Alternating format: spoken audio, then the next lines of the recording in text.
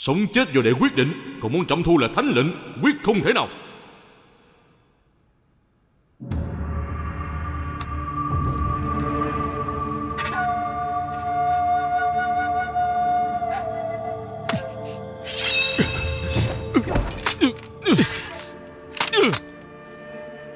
Đệ kêu ta phải nói làm sao đi hả? Bây giờ đệ muốn trọng, trọng phải làm sao thì đệ mới Mới không ngang ngược như vậy hả? Hoàng huynh. Tịnh Hiên có lỗi với người. Người đệ có lỗi vốn vậy không phải là trẫm. Được. Cứ coi như người làm hoàng huynh như trẫm Nợ đệ Trẫm sẽ nói đệ nghe một cách. Nhưng lần này Đệ nhất định không được có ý kiến.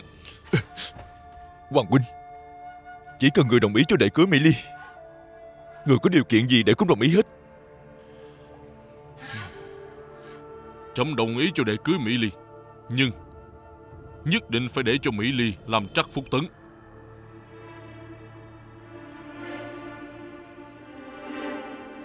Được. Nhưng mà Đệ muốn cưới Mỹ Ly về trước. Để Để Để được dối đòi tiên. Trẫm nói cho đệ biết Đây là giới hạn cuối cùng của trẫm rồi. Để nhớ cho kỹ Cuối cùng. Hoàng thượng nếu người đã tác thành cho thần rồi, Hy vọng người tác thành tới cùng.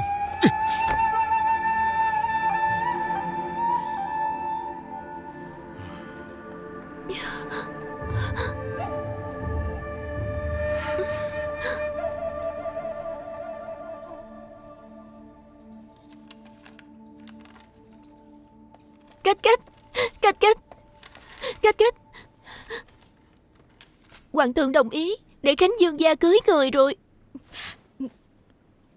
Người nói cái gì? Nhưng mà Trắc Phúc Tấn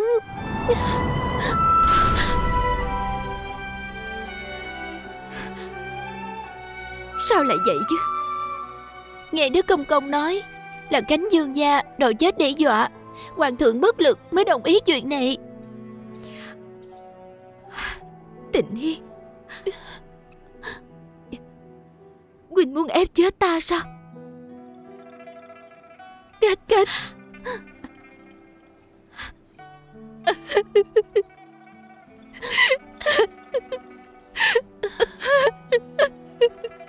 Tiểu thư, Người đừng khóc nữa. Lỡ như tổn thương đôi mắt thì làm sao? Ta khóc muộn mắt. Cũng còn hơn là nhìn thấy dương gia. Cưới Mỹ Ly về nhà đây.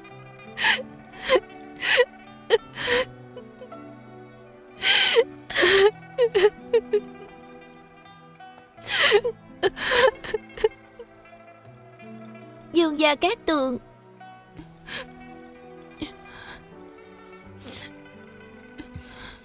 Tố doanh, Ta đến để đa tạ nàng. Đa tạ nàng tác thành ta với Mỹ Ly. Đa tạ Dương gia đã hiểu được tấm lòng của Tố Doanh. Tố Doanh cảm thấy được an ủi. Nhưng mà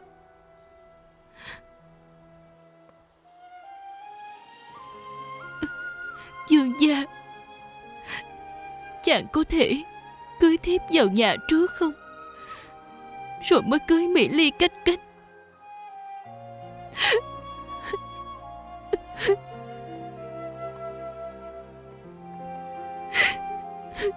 Tố Doanh cầu xin chàng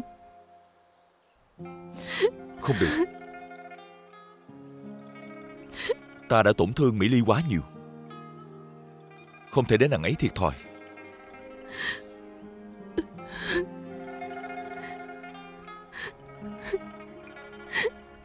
Chàng làm như vậy.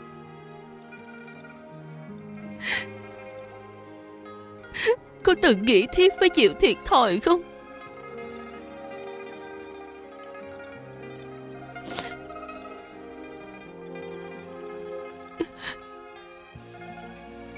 tịnh hiền. Gạch nương. Có chuyện gì thì cứ đi làm đi. Đa tạ gạch nương.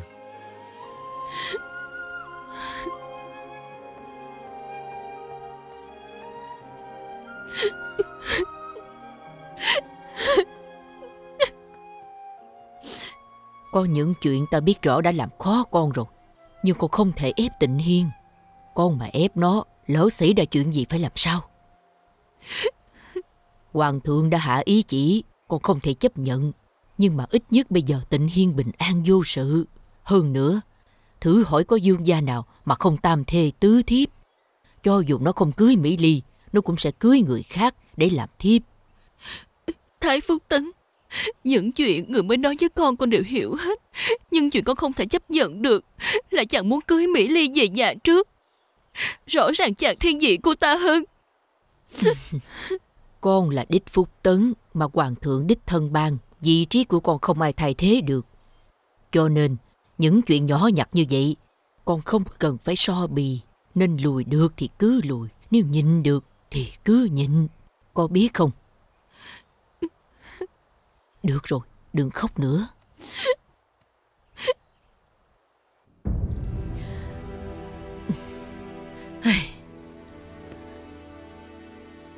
Dĩnh Hách Ban đầu Ta một lòng tác thành cho con và Mỹ Ly Chuyện này con biết. Ta cũng không có cớ gì để không giúp con. Lão Tổ Tông Vĩnh Hách muốn xin người cầu hoàng thượng thay đổi quyết định Không để cho Mỹ Ly phải chịu quốc ức làm trắc phúc tấn.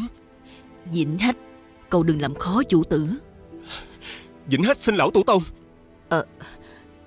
Đứng lên, đứng lên, đứng lên rồi nói chuyện.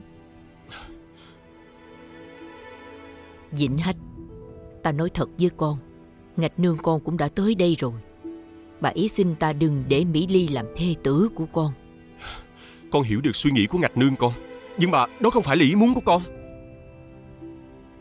Ta mong con có thể đặt mình vô hoàn cảnh của ngạch nương mà hiểu cho nỗi khổ tâm của bà ấy. Con hiểu được nỗi khổ của ngạch nương Nhưng mà bà ấy vốn dĩ không hiểu được tâm sự của con Bà chỉ biết ngăn cản con. Lão Tổ Tông Con thật sự không thể từ bỏ được Ngạch nương còn ngăn cản con là muốn bảo vệ con.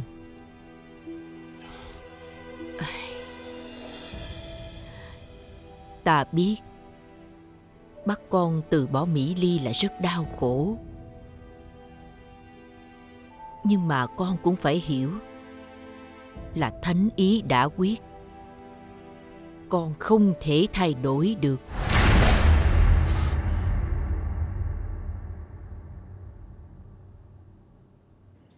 Tịnh quý phi nương nương giá đáo.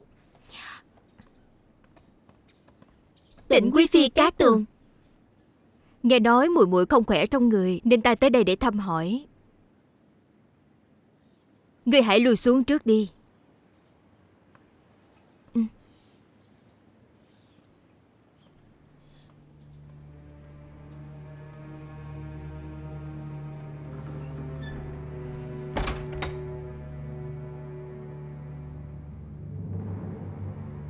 Không ngờ là Cô còn biết sử dụng mỹ nhân kế.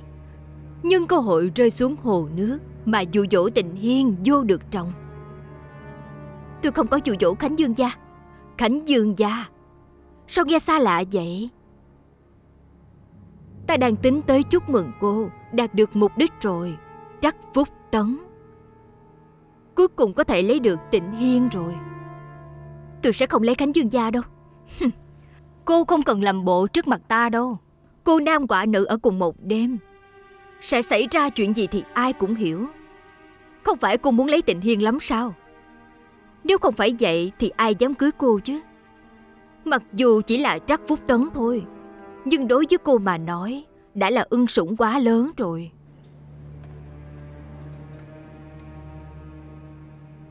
Ta đã nói từ trước cô là thứ sao chổi mà cô vẫn không thừa nhận. Bởi vì chuyện này Tố doanh xém chút đã phải xuống hoàng tuyền. Cô nói con người của cô muốn hại bao nhiêu mạng người. Cô mới vừa lòng đây.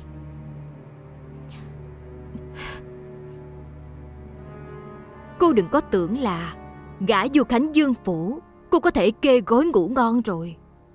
Còn ta Ta nhất định sẽ không để cho cô sống yên ổn đâu.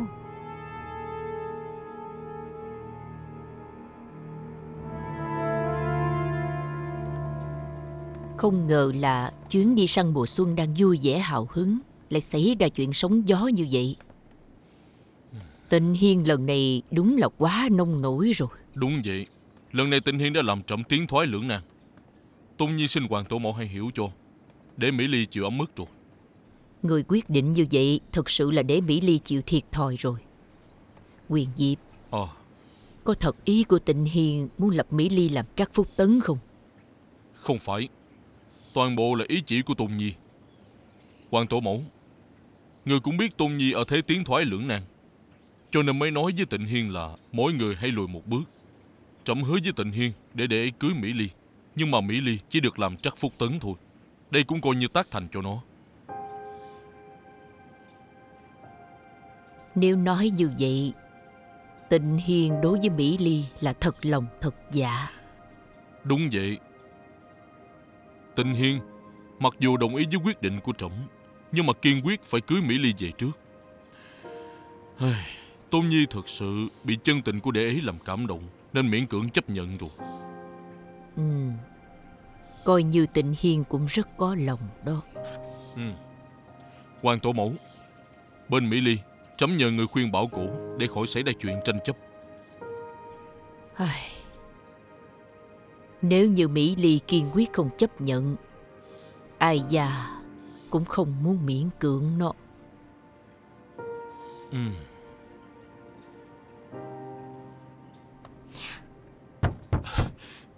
Mỹ Ly! Mỹ Ly! Mở cửa ra đi ta là Vĩnh Hách đây Mỹ Ly! Mùi đừng như vậy nữa có được không? Mùi mở cửa ra đi để ta nhìn thấy mùi! Mùi mở cửa ra đi Mỹ Ly Mỹ Ly. Mùi mở cửa ra đi mà. Mùi mau mở cửa ra đi. Mỹ Ly. Mùi mở cửa ra đi mà. Vịnh Hách Quỳnh quay về đi. Cũng đừng tới tìm muội nữa. Mỹ Ly.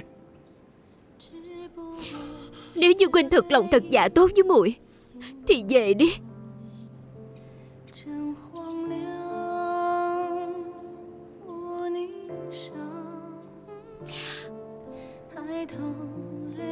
是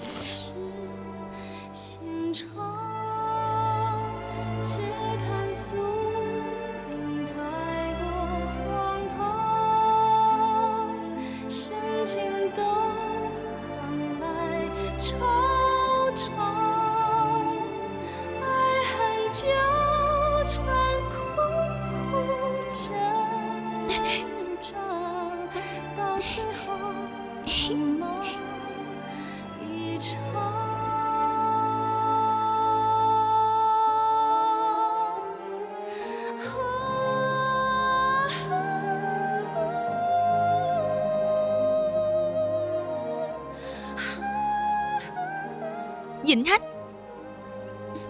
Vĩnh Hách.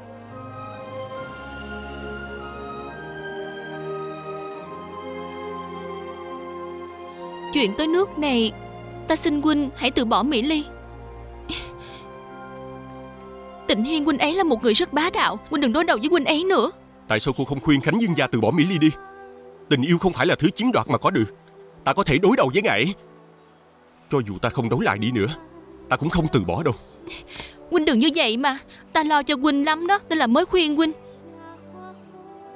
Đa tạ. Ta không cần muội lo lắng Ta nhất định sẽ cưới được Mỹ Ly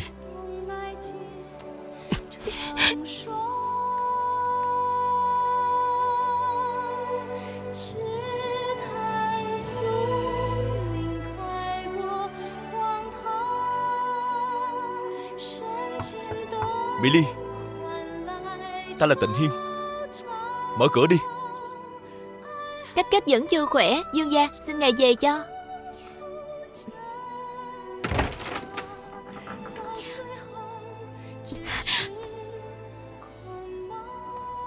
Xin dương gia tự trọng một chút. Tiểu Thúy người tránh ra.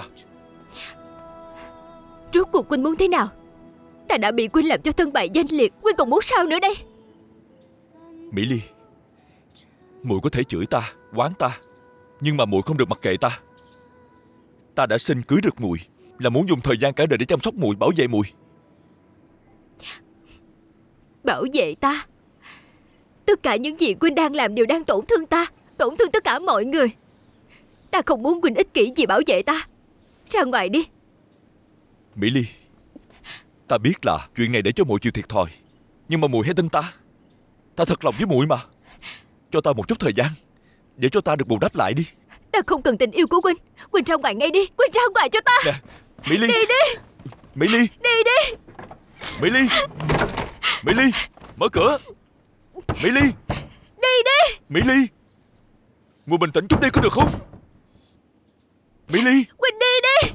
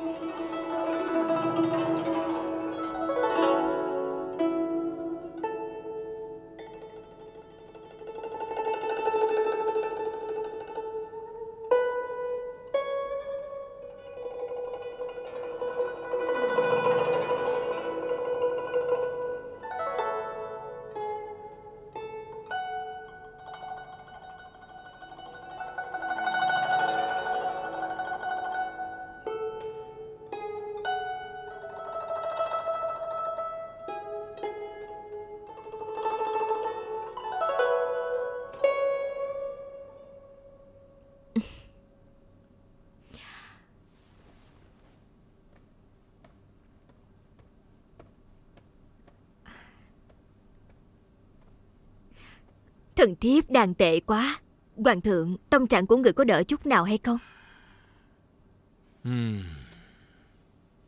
Cầm nghệ của Ái Phi quả nhiên là tiến bộ rất nhiều. Trẫm nghe xong, lòng dạ cũng không rối bời nữa. Cái tên Tịnh Hiên này, đúng là đã khiến cho trẫm hao tâm tổn sức rồi. Đúng vậy Hoàng thượng Chuyện của tịnh Hiên đúng là đã làm khó Hoàng thượng rồi Nhưng mà cũng chỉ có Hoàng thượng mới có thể đưa ra một quyết định anh minh như vậy. Ái Phi à, quyết định lần này, trẫm thật sự đã ép uổng Mỹ Ly rồi. Thần thiếp cũng cảm thấy Mỹ Ly rất là đáng thương. Lần này tịnh Hiên ép cưới Mỹ Ly Không chỉ ép buộc tố doanh chết để tác thành Hành động lỗ mãn như vậy Sau này sợ là người sẽ đem tới tai ương cho Mỹ Ly. Thần thiếp lo lắng Cho dù Mỹ Ly gả vào Khánh Dương Phủ Cũng sẽ không có hạnh phúc Ừ.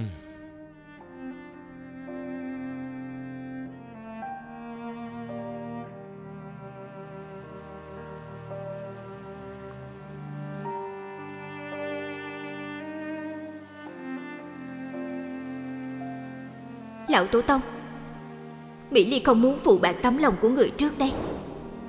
Cũng không muốn dịnh hách, Bị người cười nhạo.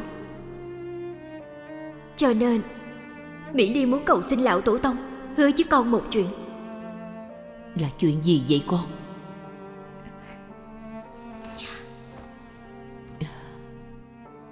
Mỹ Ly khẩn cầu Lão Tổ Tông Để Mỹ Ly cắt tóc đi tu.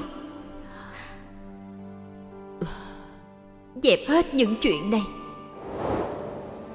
Lần này thì ta không muốn ép buộc con.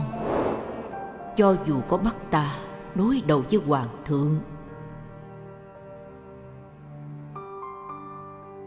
Ta cũng sẽ nhất định ủng hộ quyết định của con.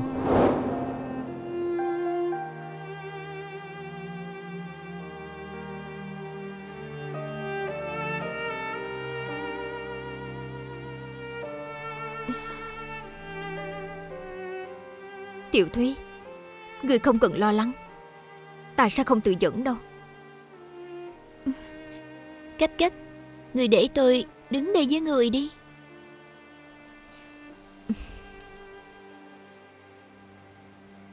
Tiểu Thúy, Ngươi nhìn cái hồ này. Nhìn qua tưởng bình lặng, Nhưng chỉ cần có cơn gió thổi qua, Thì mặt nước hồ sẽ nổi sóng theo gió. Ta chỉ muốn có cuộc sống bình yên, Cũng giống như mặt hồ này. Nhưng mà sao khó quá đi? Cách cách Không phải người nói Lão Tổ Tông cũng hứa Sẽ ủng hộ quyết định của người sao Ta nhìn thấy được quyết định của ta đã làm lão tổ tông khó xử. Ta thực sự không muốn để người phải vì ta mà xung đột với hoàng thượng.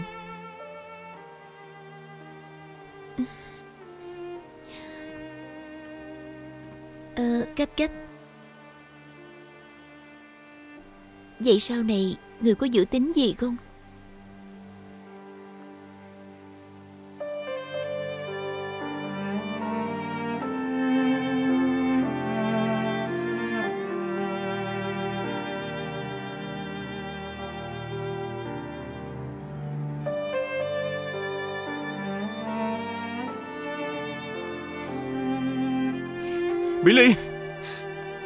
Muội đừng có trốn tránh ta nữa.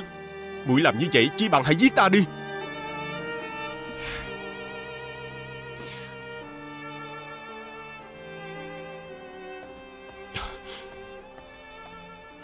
Mỹ Ly, Nếu như chỗ này không chứa nổi chúng ta Chúng ta hãy rời khỏi đây. Ta sẽ đưa muội đi. Chúng ta sẽ tới một nơi không có ai nhận ra chúng ta. Mai danh ẩn tích Là một đối phu thế bình thường có được không? Giống như những gì ta đã từng nói sẽ đưa muội rời xa chúng cung đình đầy rẫy thị phi. Chúng ta sẽ tự do sống cuộc sống mà chúng ta mong muốn, mặc kệ thế tục hỗn loạn rối bời, có được không?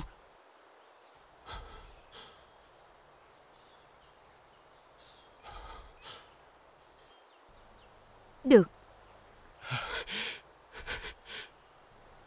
Muội đi với huynh. Tốt quá rồi. Mỹ Ly, giờ tí đêm nay, ta ở ngoài cửa đợi muội. Ừ. Bây giờ ta về chuẩn bị trước đây. Tối nay không gặp không về.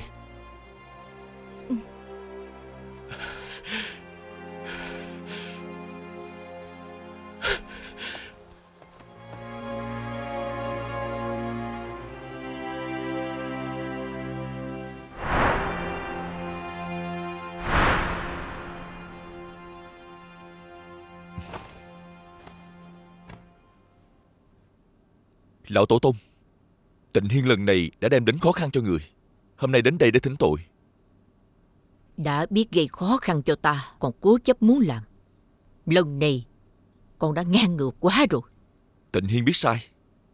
Nhưng mà xin Lão Tổ Tông yên tâm. Con sẽ cho Mỹ Ly hạnh phúc. Để bù đắp nỗi khổ trước đây của nàng ấy.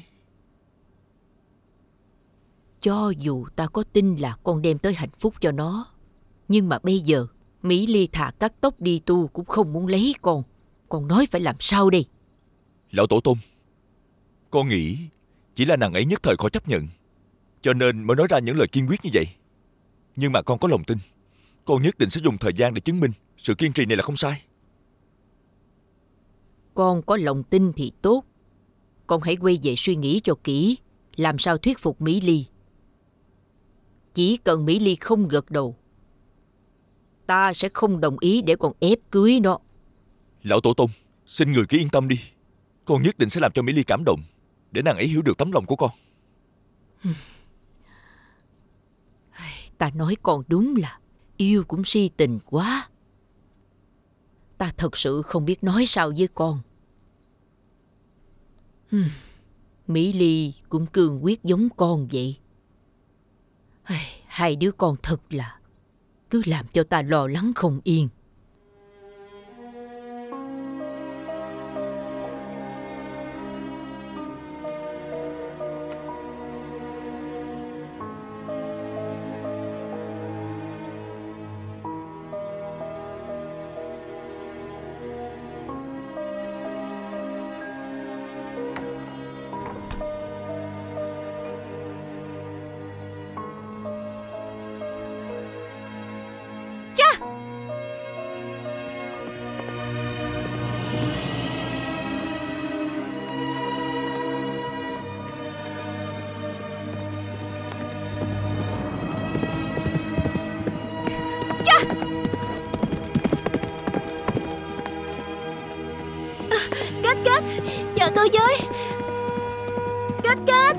Tôi với.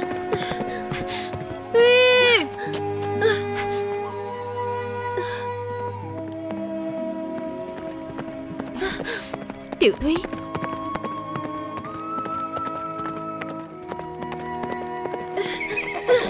Cách cách Tôi tới rồi. Tiểu Thúy, Sao ngươi lại tới đây? Nhỏ Tiểu Thúy lớn lên với người. Người đừng bỏ Tiểu Thúy. Người đi tới đâu tôi theo tới đó. Ngươi đừng có khờ khảo nữa. Lần này ta ra đi Cũng không biết sẽ đi đâu. Ngươi đi theo ta sẽ chịu khổ đó. Không đâu cách cách. Tôi không sợ khổ. Bất kể chân trời gốc bể Tôi cũng phải đi theo người. Người coi tất cả hành trang y phục Tôi đã đem theo rồi. Hãy dẫn tôi theo cùng đi nha. Cách cách Đừng có do dự nữa chúng ta đi Cứ đi trước rồi nói sao ừ. Cha Cha Cha Cha Cha Cha Cha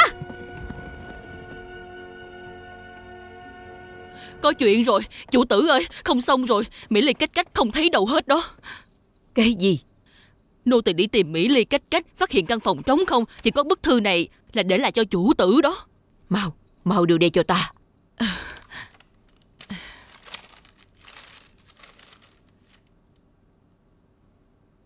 Lão Tổ Tông, Xin tha tội cho Mỹ Ly bất hiếu. Không tự mà biệt.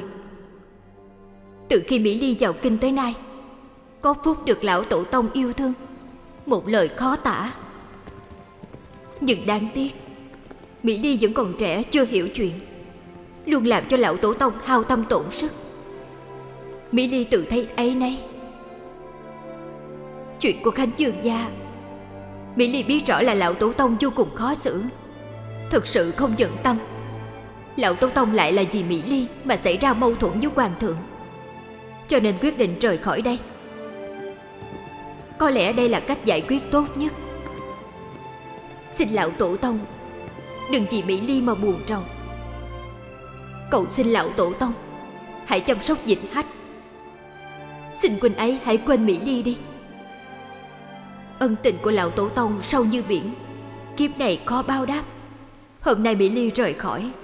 Không thể quỳ gối khấu tạ. Chân bước lòng đau tìm như ai xé.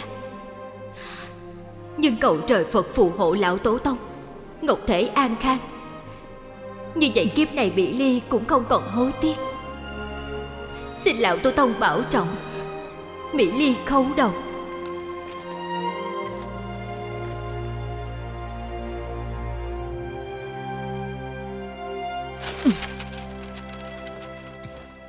Không phải còn nói con sẽ thuyết phục Mỹ Ly sao? Nói đi, bây giờ phải làm sao đây? Tất cả cũng tại đệ Hãy cho Mỹ Ly bỏ nhà ra đi Nói Phải phạt đệ thế nào mới thích đáng đi Chuyện này do tình hiên mà ra Tình hiên nguyện nhận lãnh tất cả mọi trách phạt Được, con mau tìm nó về đây đi. Hôn sự của hai đứa, trừ khi Mỹ Ly chính miệng đồng ý.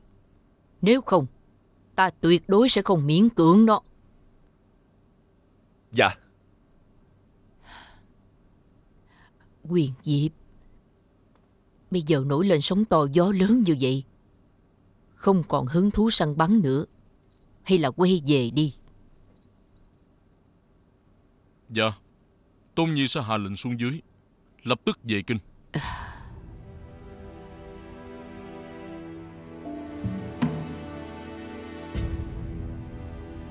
Vĩnh Hách Vĩnh Hách con không được đi. Vĩnh Hách Vĩnh Hách Vĩnh Hách à, à, Vĩnh Hách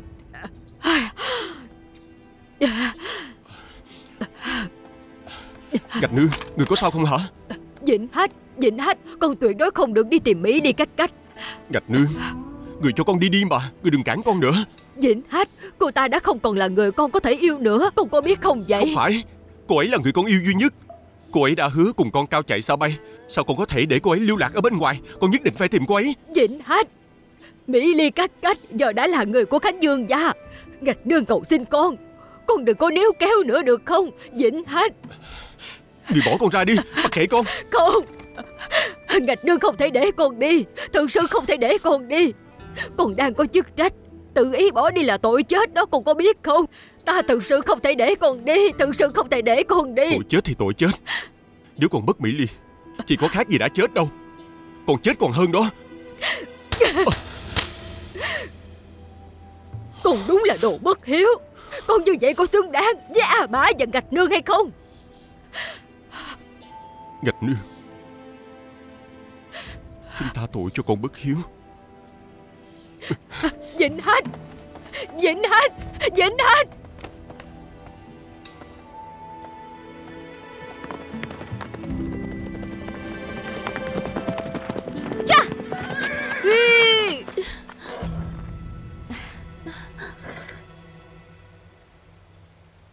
Cách cách Chúng ta đi đường nào đây? Ta chỉ muốn tìm một nơi thật yên tĩnh để sống Để được yên ổn thôi. Cách cách Bất kể người đi đâu Tôi cũng đi theo người Không rời nửa bước. Đúng rồi cách cách Không phải người vẫn muốn quay về Đại Thảo Nguyên sinh sống sao? Hay bây giờ mình nhân cơ hội này quay về đó đi? Không được. Nếu như ta về Thảo Nguyên Lập tức sẽ bị bọn họ tìm được. Không thể quay về. Đúng Người nói có lý Nhưng mà Cuối cùng chúng ta cũng phải chọn một con đường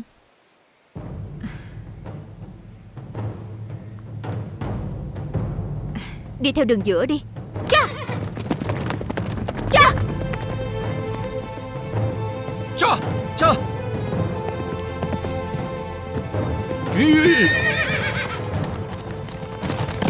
Cha Cha Cha Cha Cha Cha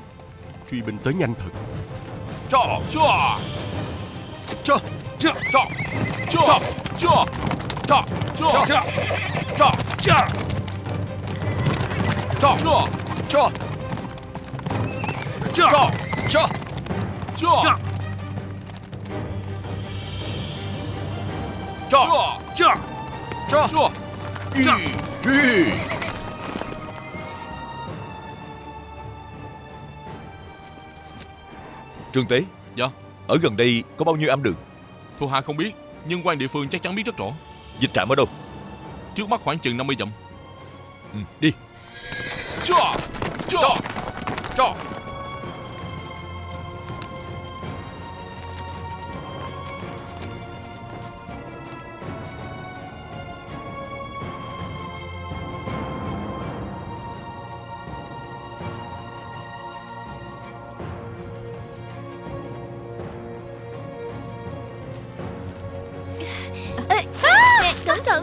Không sao chứ. Cẩn thận sao? Gần tới rồi.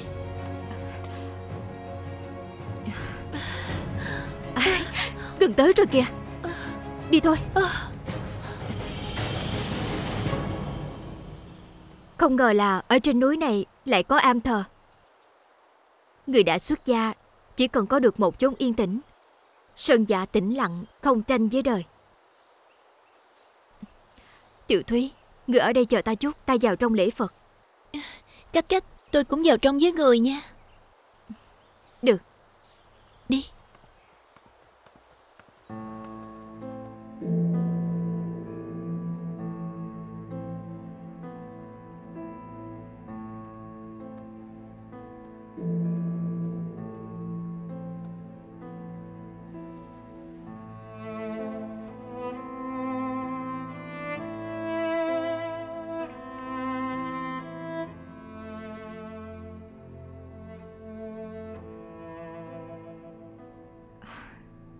Cầu Phật tổ từ bi. Thương con. Cho con thoát ly khỏi chốn hồng trần.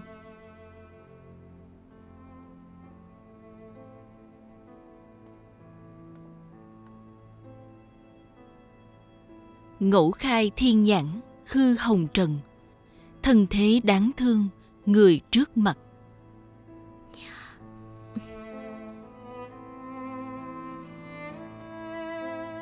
Đệ tử muốn cầu kiến trụ trì sư thái.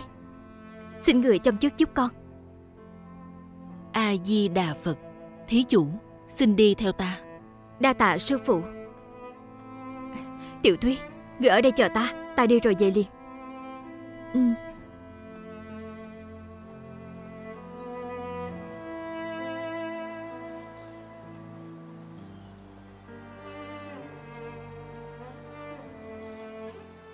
Đệ tử Mỹ Ly ra mắt sư thái. Bần ni huệ ân đáp lễ. Thí chủ có gì chỉ dạy? Đệ tử. Thí chủ gương mặt sầu muộn. Không lẽ bị tổn thương gì tình? Không dám giấu giếm sư thái. Đệ tử thực sự đã mang nợ tình. Bây giờ chỉ cầu Được vào cửa Phật Xuân tóc đi tu Xin sư thái làm lễ giúp cho Người có cắt được ba ngàn sợi khổ trên đầu, nhưng người có cắt được ngàn sợi tơ tình không? Có lẽ Bồ Tát ở cõi Niết Bàn sẽ có an bài Cho nên Mỹ Ly mới có duyên với tượng Ninh Am này Phật môn là nơi xa lánh thế tục, không phải là nơi để tránh đời. Thi chủ nếu vẫn chưa dứt tình căn, làm sao lục căn thanh tịnh thành tâm lễ Phật?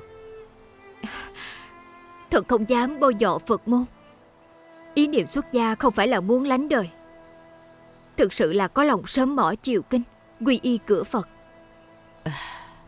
Phật gia có câu, ta có một viên minh châu đã bị trần thế giấu đi. Ngày nay, trần tận quan sinh, chiếu rọi sơn hà giảng đoá Chân không có điều kỳ diệu, thi chủ nếu có lòng hướng Phật, không nhất định phải tìm tới cửa Phật xuống tóc làm ni cô mà nhớ hồng trần. Nếu như có ngày nào đó thi chủ có thể lĩnh hội được thoát ly hồng trần, tường Ninh Am nhất định rộng cửa đón thi chủ vào cửa Phật. Bần ni xin khuyên nữ thi chủ tạm thời bỏ đi ý niệm muốn xuất gia. Nhưng thí chủ nếu như không chơi bai am cũ dột nát có thể nán lại vài ngày, biết đâu chừng có duyên pháp khác. Đa tạ sư thái Đệ tử nguyện cùng sư thái nghiên cứu Phật Pháp A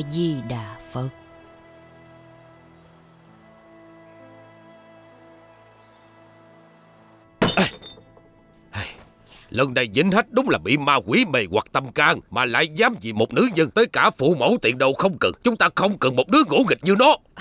Ông nói không cần là không cần sao? Tuy là Vĩnh Hách không hiếu thuận Nhưng nó cũng là cốt nhục của chúng ta. Ông có thể trơ mắt nhìn nó chết sao?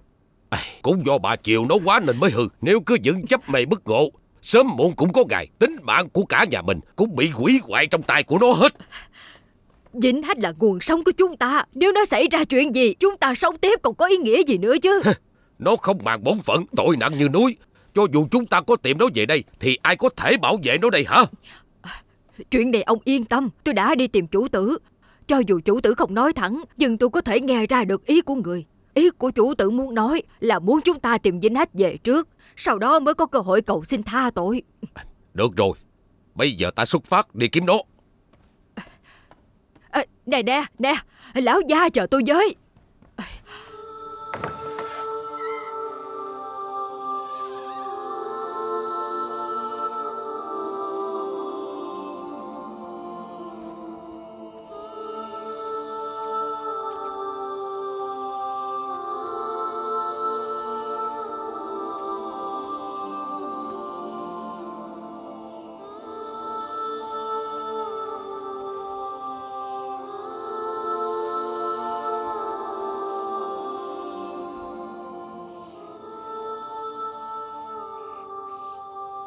Cách người nghỉ ngơi trước đi. Tôi đi rót nước cho người.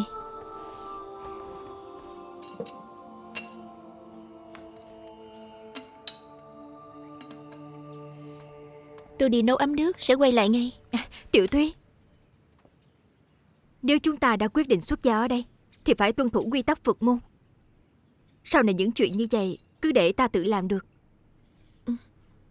Tiểu Thúy hiểu rồi. Tiểu Thúy Phật môn khổ cực. Đã làm khổ ngươi rồi. Chỉ cần ở bên cạnh cách cách Cho dù phải làm chuyện gì Tiểu Thúy cũng đều không thấy cực khổ. Tiểu Thúy.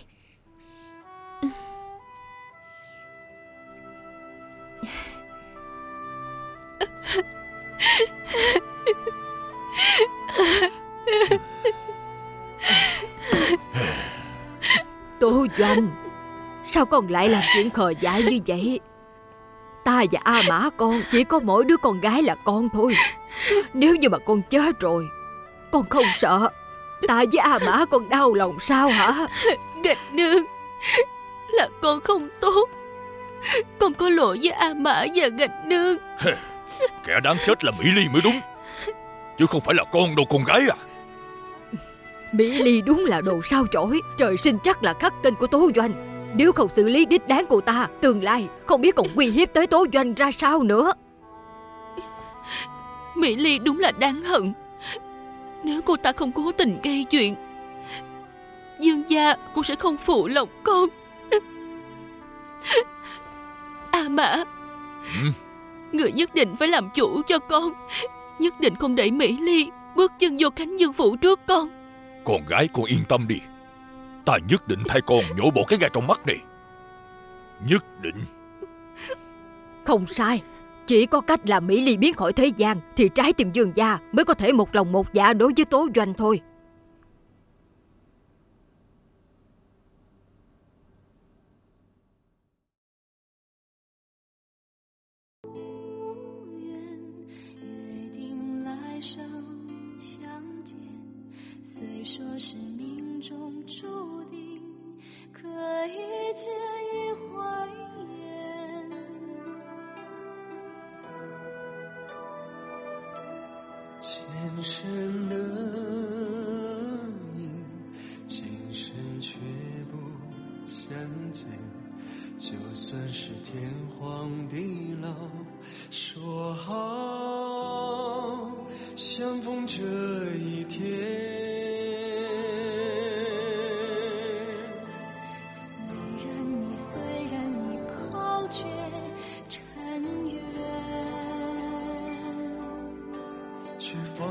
想你的心，你的依恋。